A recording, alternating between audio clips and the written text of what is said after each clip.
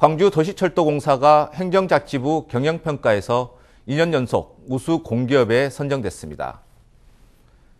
광주도시철도공사는 최근 행정자치부의 2014년 경영평가에서 우수 등급을 받았으며 전국 7개 도시철도공사 가운데 최고 성적을 거뒀다고 밝혔습니다.